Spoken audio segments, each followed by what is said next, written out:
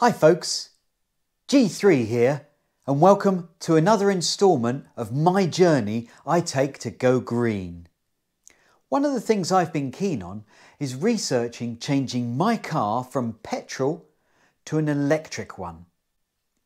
There are a whole range of cars on the market and over the last 10 years or so they've really advanced in efficiency and battery size and therefore the range that they're able to cover. Where I live, I don't have the capability to park off-road and charge my vehicle at home. So I needed to find an electric car that would be able to cope with me making the journeys I do on a weekly basis and charging away from home. So realistically, I knew that I would be looking for a vehicle that could cope with approximately 200 miles of range. One thing that I learned was that you change the way that you drive when you have an electric vehicle. Your mindset is ensuring that you have enough charge for your journey, but you will be stopping on some journeys naturally for comfort breaks and for food. And it's at those times that you incorporate your charging opportunity. So you will stop, charge your car whilst you're using the restrooms or getting food. And in that time, you've got enough charge to continue your journey. So there's a different approach to how you drive these cars. Right, so let's get to it. Let's have a look at my test drive in the MG5 EV. Um, here we are inside the MG5 EV. We're going to have a test drive of the first electric uh, estate car that's made it into the UK from MG, which is a, um, uh, it's actually Chinese owned. Now, This is a rather um, rather large car. It's going to be an interesting first drive. So uh, yeah, we'll get on the road and see see how it goes. I, am not. I will go through the specs of the car uh, at a later stage, but this is just to see uh, an impression to see how it drives to show you how um, how we are with it um, as we're driving. So bear with me.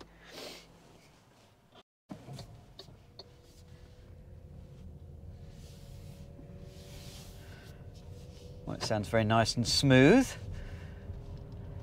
This um, comes with three levels of regenerative braking um, that MG rather confusingly call KERS, K-E-R-S, which is a kinetic energy regeneration system, I believe.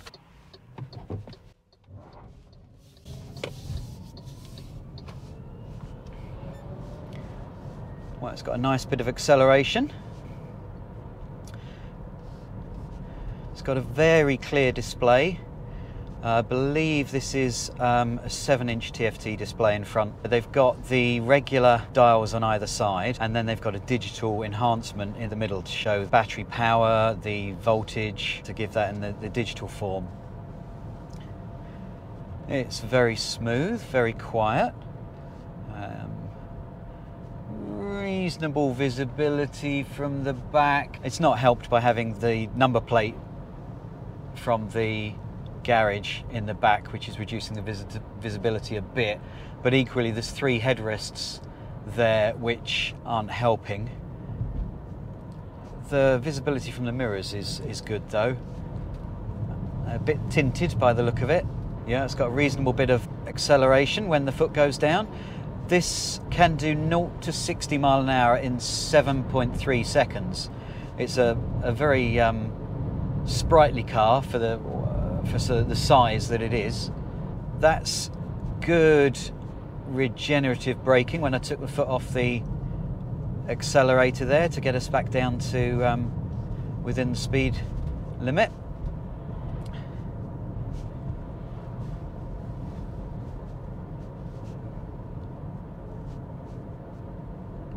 It's a nice quiet ride at the moment. Obviously we're not going um, excessively fast, so um, that's not a surprise. But the the road surface here isn't the best, and it's not um, uh, it's not suffering too much. It's quite a um, seems to be quite a comfortable ride.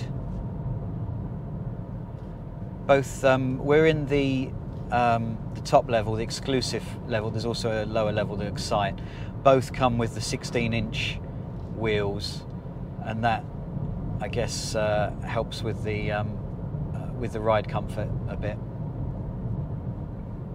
Coming up into a 50 zone again, and we'll uh, gradually increase. Yeah, it's very responsive. Very nice. Steering wheel's light, uh, light to the touch. This exclusive model comes with, I can't remember how they call it, it's like leather style, I think it is, or, or, or something similar to that.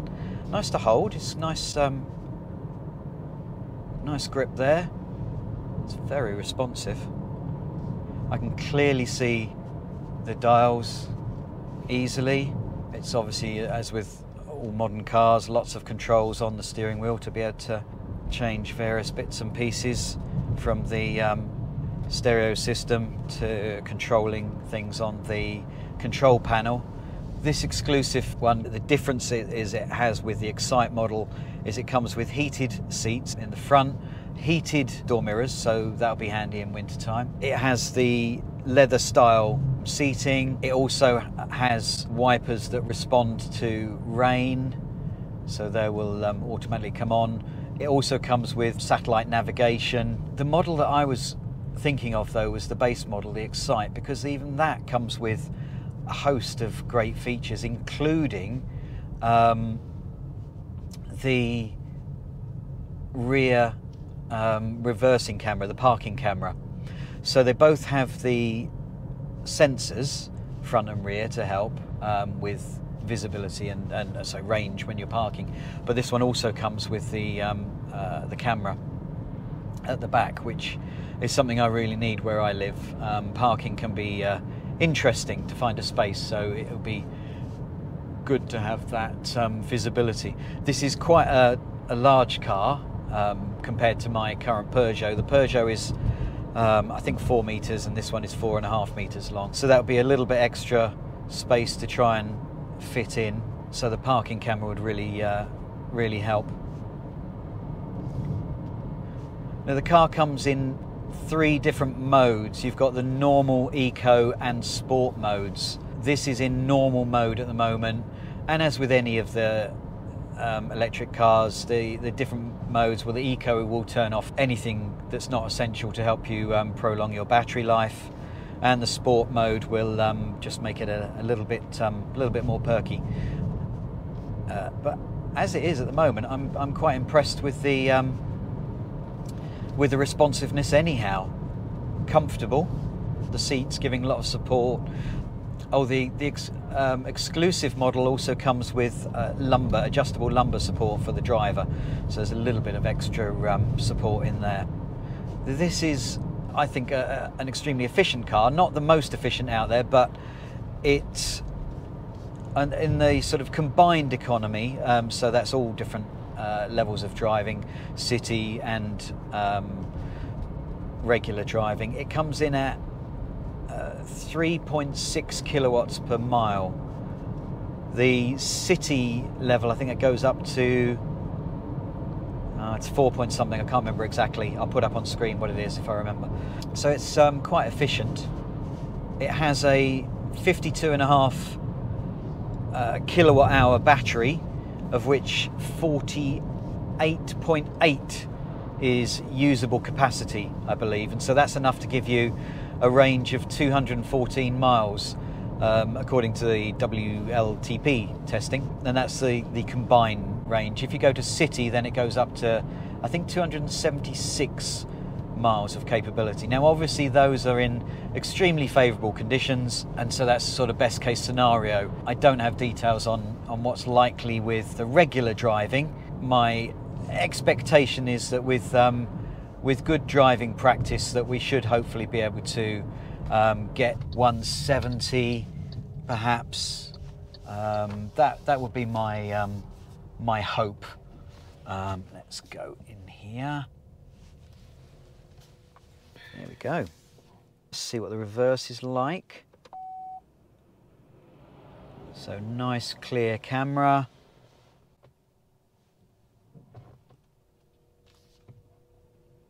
Yeah, that's a nice camera. That's nice camera. Okay, liking that. Okay, so let's have a look around. It comes with 16 inch wheels as standard. The exclusive model has the silver rails down the side. Um, it looks quite an attractive car for being an estate car. It's got a rather spacious boot. Um, so it's got the covers to um, to cover the um, the back there to keep it nice and quiet. It's I say 460 odd litres of um, space in there. Um, got some netting to keep the um, charging cable in place. It's got some nice lines to it. The the brake lights seem reasonably high and visible, and it's got this raised one in the middle there. And the charge port is just in the front here, and it comes with the um, the CCS and Type 2. So that was just a little um, push to lock that, and it's back in place.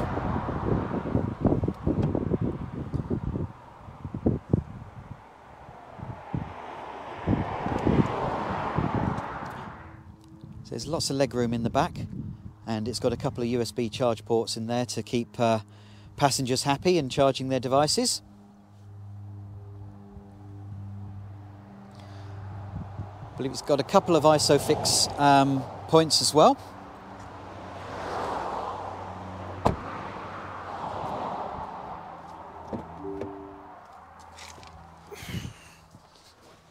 It's very nice um, electrically adjustable seat. So you're able to adjust it forwards, down, back, and uh, and through these, uh, which makes it very um, very handy to, for a quick adjustment.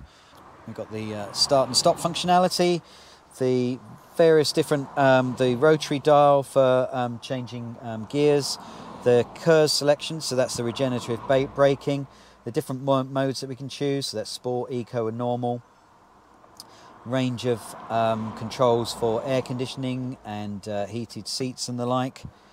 Get my notes because I'm not going to remember everything. So, the MG5 EV, so front wheel drive. Um, the one thing about this is the space. So normal boot capacity is 464 litres. If you take the cover off, um, the cover that's covering it, it is 578 litres, that's loads. But if you put the seats down and take that out, it comes up to 1,456 litres of space, which is phenomenal. Charging, getting to 80%, it will be um, approximately 50 minutes because it can take up to 50 kilowatts um, CCS. Also has a Type 2 connector as well. It can do um, a max speed of 115 miles an hour, and as I said, it's 0 to 60 in 7.3 seconds.